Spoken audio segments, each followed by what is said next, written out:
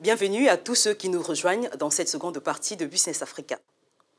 Lutte contre le blanchiment des capitaux au Gabon, très peu de progrès faits par les autorités pour inverser la tendance. L'ONG Tournons la page s'insurge du silence et des organes susceptibles de mener les enquêtes et provoquer la saisine des tribunaux compétents. Il y a quelques mois, le groupe d'action contre le blanchiment d'argent en Afrique centrale avait dénoncé l'ampleur de la corruption et du blanchiment d'argent dans le secteur immobilier au Gabon. Les détails dans ce sujet de Wahani Johnson Sambou et Philemon Balek. Libreville, la capitale du Gabon et ses gros immeubles dans le collimateur des organes de lutte contre le blanchiment des capitaux. L'immobilier est l'un des secteurs considérés comme le socle de ce fléau qui gangrène le pays. Le mal est si profond qu'il inquiète les organisations de lutte contre ces pratiques mafieuses, à l'image de l'ONG Tournons la page Gabon. C'est un scandale.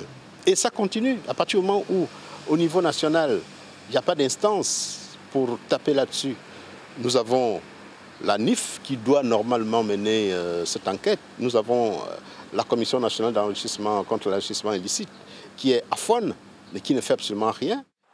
Les fonctionnaires et proches du pouvoir sont souvent pointés du doigt.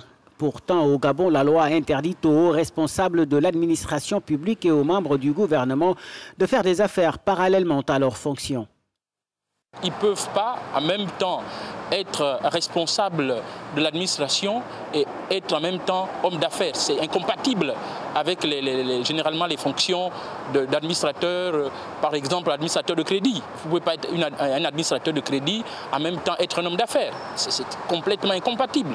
Donc sur cette question, il faudra que vraiment les, textes soient respectés à ce niveau.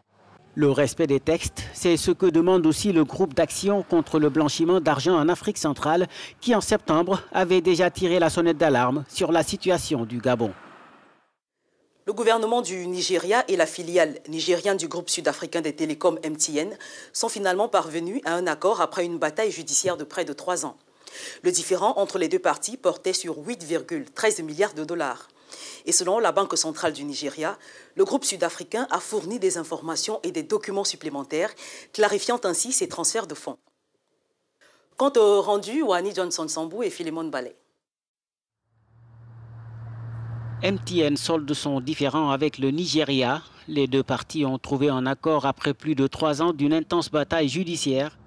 Le contentieux portait sur 8,13 milliards de dollars que le Nigeria, par le biais de sa banque centrale, accusait l'opérateur de téléphonie mobile d'avoir rapatrié illégalement dans son pays entre 2007 et 2015. Ce qui avait valu également des sanctions à quatre banques commerciales impliquées dans le transfert. La CBN a déclaré lundi dans un communiqué que le groupe sud-africain avait fourni des informations et documents supplémentaires clarifiant ces transferts de fonds. Mais MTN a, selon les médias nigérians, dû payer 53 millions de dollars de pénalité pour régler l'affaire avec la CBN. D'autres discussions sont également annoncées avec les banques pénalisées sur la manière de gérer les sanctions. Les accords entraînent de fait la clôture des dossiers portés devant la justice, ajoute la Banque centrale. Pour rappel, cette sanction était la dernière en date contre le premier opérateur de téléphonie mobile d'Afrique, le géant sud-africain avait notamment été condamné en 2015 à une amende de 5,2 milliards de dollars par le régulateur nigérian des télécommunications pour ne pas avoir déconnecté des cartes SIM non enregistrées sur son réseau.